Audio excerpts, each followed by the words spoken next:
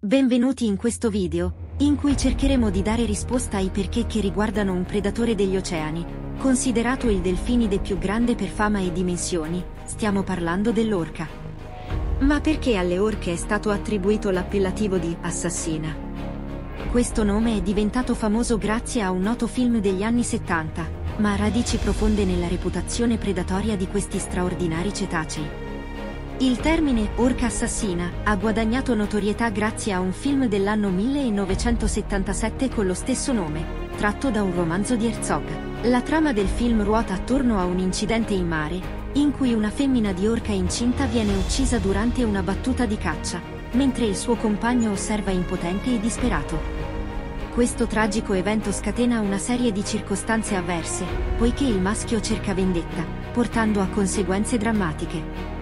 In realtà la parola orca deriva dal termine latino orcinus orca, mentre l'espressione orca assassina è utilizzata, in larga misura, nel mondo anglosassone. Il mammifero è definito assassino in virtù di una leggenda risalente al XVIII secolo, tramandata oralmente da alcuni balenieri di origine spagnola. Essi ebbero l'opportunità di osservare da vicino la tecnica di caccia alle balene messa in atto dalle orche. In numerose occasioni, questi marinai assistettero agli attacchi orchestrati con precisione e pianificazione. Tali attacchi erano tutto tranne che casuali, le orche avevano un metodo ben definito. Prima di tutto, per indebolire la balenottera e il suo piccolo, le orche mettevano in atto una caccia incessante. Alcune di loro balzavano sopra il cucciolo, cercando di impedirgli di respirare, mentre le altre si lanciavano contro la madre, impedendole di proteggere il suo piccolo. In quasi tutti i casi, questa caccia brutale terminava con la tragica morte del cucciolo, affogato per mano delle orche. A volte, queste feroci creature si gettavano sul corpo del cucciolo, divorandolo, e poi lasciavano andare la balena madre esausta. In altre occasioni, le orche arrivavano a uccidere anche la madre, causandone il dissanguamento. Assistendo a questa violenta sequenza di eventi, i marinai dei balenieri spagnoli iniziarono a soprannominare queste incredibili creature assassine di balene. Questo soprannome fu tradotto dagli inglesi come Killer Whales, che significa balene assassine, da cui la più accurata traduzione Whales Killers, che sarebbe assassine di balene. Quest'ultima forma sarebbe stata più fedele all'appellativo originale. Le orche sono una specie cosmopolita, il che significa che sono diffuse in ogni angolo degli oceani e dei mari. La loro versatilità le porta a vivere in acque fredde o temperate, sia vicino alle coste che in mare aperto. Sono particolarmente abbondanti in regioni come il Nord America, l'Australia, la Nuova Zelanda e il Giappone. È relativamente facile avvistarle nelle acque del Nord Atlantico e dell'Antartico, mentre è più raro trovarle nell'Oceano Artico, nelle zone tropicali o nel Mar Mediterraneo. Le orche si distinguono in tre ecotipi distinti. Orche marittime. Queste popolazioni risiedono molto lontano dalle coste, a circa 20 km dal litorale, e formano gruppi molto numerosi, talvolta fino a 75 individui. Sono capaci di migrazioni su lunghe distanze, arrivando a migliaia di chilometri. Inizialmente si credeva che si nutrissero principalmente di pesci, ma in realtà si è scoperto che cacciano soprattutto squali, compreso il temibile squalo bianco, e fanno parte della loro dieta anche le balene. Questo gruppo di orche, più piccolo rispetto agli altri due, ha alette dorsali con punta arrotondata. Si trovano dall'area del Messico fino all'Alaska ed è stato scoperto solo nel 1988 prendendo il nome di offshore o, al largo, orche di passaggio. Queste popolazioni si spostano costantemente lungo le coste, coprendo grandi distanze nelle loro migrazioni. Si raggruppano in piccoli gruppi di almeno 10 individui e prediligono prede come foche e leoni marini. Le loro caratteristiche alette dorsali sono triangolari e appuntite. Orche residenti. Queste orche vivono in aree limitate vicino alle coste e le loro migrazioni sono di breve raggio. Hanno alette dorsali curve con la punta arrotondata e si riuniscono in gruppi numerosi, anche fino a 60 individui. La loro dieta è principalmente a base di pesci e calamari, e presentano una riproduzione endogamica. Tuttavia, una specie di orche residenti, a causa dello strano comportamento, ha fatto sorgere una domanda agli scienziati.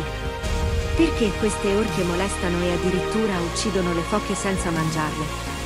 Per decenni, le orche del Pacifico nord-occidentale sono state osservate mentre tormentavano e addirittura uccidevano le focene senza mangiarle, un comportamento sconcertante che da tempo incuriosisce gli scienziati. Esaminando più di 60 anni di interazioni registrate tra le orche e le focene nel mar di Salish, uno studio pubblicato su Marine Mammal Science prova a dare una spiegazione a questo fenomeno. La popolazione canadese di orche, che comprende appena 75 esemplari è considerata ad alto rischio di estinzione. Si nutrono di pesce, il loro cibo principale è il salmone reale, che a sua volta è a un passo dalla sparizione a causa della pesca intensiva. Le orche che si nutrono di pesci manifestano un'ecologia e una cultura del tutto dissimili rispetto alle orche che si cibano di mammiferi marini, anche se le due popolazioni vivono nelle stesse acque quindi dobbiamo concludere che le loro interazioni con le focene hanno uno scopo diverso. Lo studio, al quale hanno partecipato università e centri di ricerca, suggerisce le tre seguenti spiegazioni. Per le orche le molestie alle focene possono essere una forma di intrattenimento sociale. Come molte specie intelligenti, questi cetacei a volte si dedicano ad attività giocose per creare legami, comunicare o semplicemente divertirsi. Questo comportamento potrebbe favorire il coordinamento del gruppo e il lavoro di squadra. Potrebbe anche essere un allenamento per la caccia vera e propria. Le orche usano le focene come bersagli mobili, per affinare la loro tecnica che poi applicano alle prede. Infine, c'è l'ipotesi più affascinante. Le orche potrebbero vedere le focene come animali deboli, malati o in difficoltà, e tenterebbero quindi di prendersi cura di loro. Una manifestazione della loro naturale inclinazione ad assistere gli altri nel gruppo. Sono state viste femmine trasportare i loro cuccioli deceduti e anche focene. Sono tre possibilità molto diverse tra loro, e secondo gli autori dello studio potremmo non scoprire mai qual è quella corretta. Quello che sappiamo con certezza è che le orche residenti nel mar di Salish non consumano le focene, e dato il loro regime alimentare altamente specializzato basato sul salmone reale, è improbabile che cambino questa abitudine solo perché il loro cibo preferito scarseggia. Passiamo ora ad un altro quesito. Osservando le orche attraverso i documentari e parchi acquatici, anche ai bambini più attenti è sorto spontaneo porre la domanda, perché certe orche hanno la pinna piegata?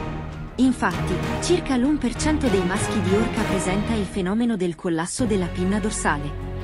Secondo gli esperti, ciò può avvenire a causa dell'invecchiamento, di combattimenti o dello stress. Sorprendentemente, il 100% dei maschi di orca in cattività sembra essere affetto da questo problema. Per comprendere meglio il fenomeno, dobbiamo scendere nei dettagli dell'ecologia delle orche.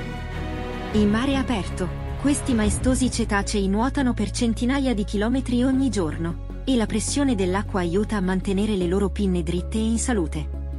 Tuttavia, nei confini degli acquari, gli animali spesso non possono nuotare quanto e quando dovrebbero, il che sembra contribuire al collasso della pinna dorsale. Secondo Sea World of Earth, un sito web gestito dall'Organizzazione per i diritti degli animali PETA, questo è uno dei motivi principali del collasso della pinna dorsale nelle orche in cattività. Inoltre, la loro dieta in cattività è spesso molto diversa da quella che seguirebbero in natura, il che potrebbe anch'essa contribuire al problema. Ma qual è il ruolo della pinna dorsale?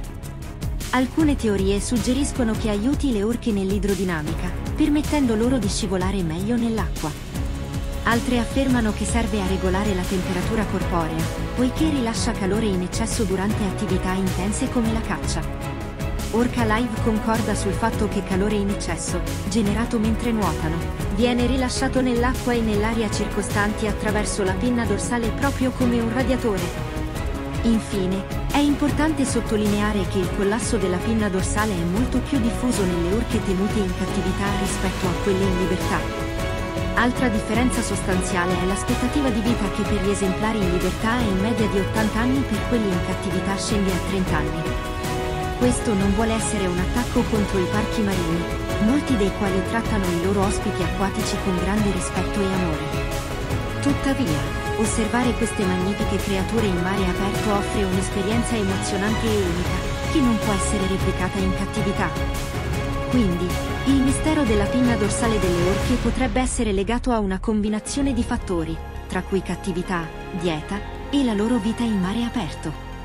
Speriamo che questo video ti abbia aiutato a comprendere meglio questo affascinante aspetto delle orche. Se ti è piaciuto il video, non dimenticare di mettere mi piace e condividerlo con gli amici appassionati di natura e vita marina. Ringraziando per averci seguito, rimandiamo il nostro appuntamento al prossimo video.